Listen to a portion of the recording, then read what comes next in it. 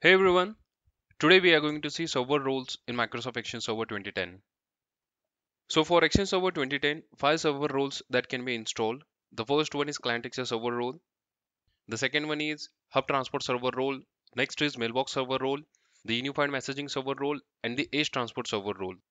Here, the Edge Transport Server role is optional for your organization. It depends on the organization requirement whether they want to install this Edge Transport Server role or not. So these five server roles that can be installed for Microsoft Exchange Server 2010. First, we are going to see detail about Client Access Server role. The Client Access Server role, as the name suggests, the Client Access Server is the server that connect users to their mailboxes through the clients like Outlook, Outlook web app that is accessing Outlook on browser or accessing Outlook emails on mobile phone that is ActiveSync. So the client access server authenticate and redirect those requests to appropriate mailbox server. It handle all client connection to a mailbox. The client access server does not check the email content coming to the organization or does not hold the email messages locally. It just accept all the incoming requests and emails and route it to correct mailbox server. And this role basically works on HTTP and HTTPS traffic and it handle all email routing between Exchange server and outside the wall. So we can say that the client access server perform the task of connection point for all your users to their mailboxes both internally and externally. In addition to all the services, the client access server provide other important services such as the availability service which shows the free busy data of your Outlook users. Suppose you are scheduling a meeting by Outlook and you want to check whether the room mailbox or the user with which you are scheduling a meeting is free or busy. This free busy information is provided by this availability service. Next is auto discover service. This is important service. This service helps to receive profile setting and locate the action services.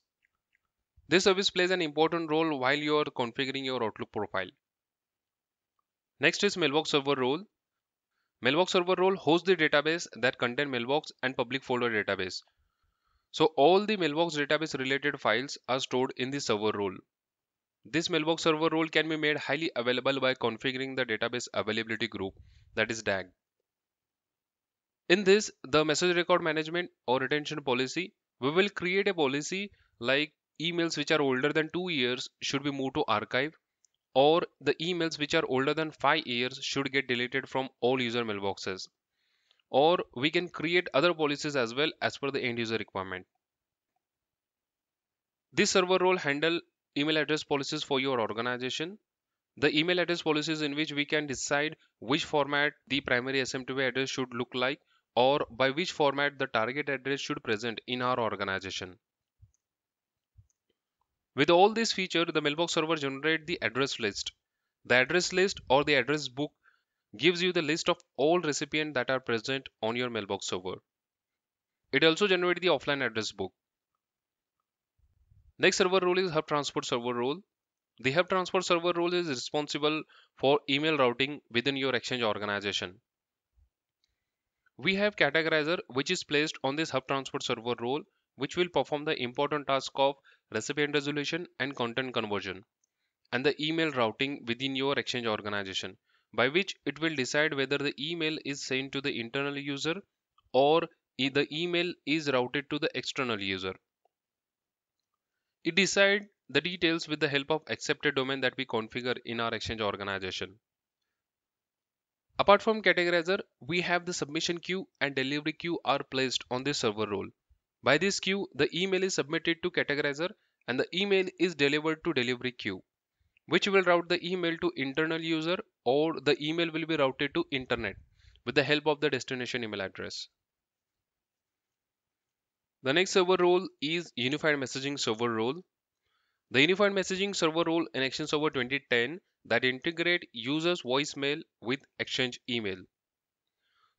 So this Unified Messaging Server allows an exchange organization to store voicemail and faxes along with email, calendar, and contact in your user mailboxes.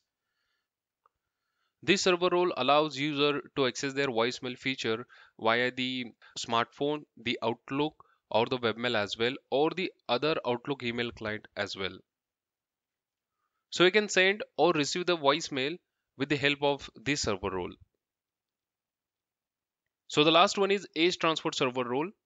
This Edge transport server role is optional for your organization and this server role is designed to sit in the DMZ network of your organization to provide SMTP connectivity and email flow for all the incoming and outgoing to your organization. This Edge transport server role provides anti-spam and anti-malware filtering. So this Edge transport server role scans all the incoming emails and outgoing emails to your exchange organization. It will check which IPs are allowed to send email to our exchange organization and from which IP the email should get blocked. It will check for all the sender email address, recipient email address, which domains are blocked, which domains are allowed. We can create other policies as well with the help of this anti-spam feature. So this Edge transport server role provide anti-spam mail flow rules as mails enter and leaves to your exchange organization. If you have any questions or suggestions, please do let me know in the comment section. And finally, thanks for watching.